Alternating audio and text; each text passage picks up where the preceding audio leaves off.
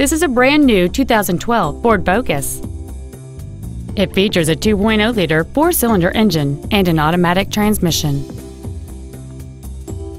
Its top features include a multi-link rear suspension, a low tire pressure indicator, aluminum wheels, and traction control and stability control systems.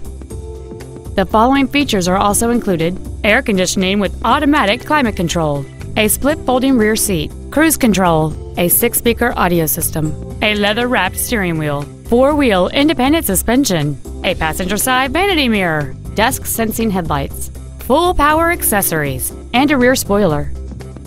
This vehicle is sure to sell fast. Call and arrange your test drive today.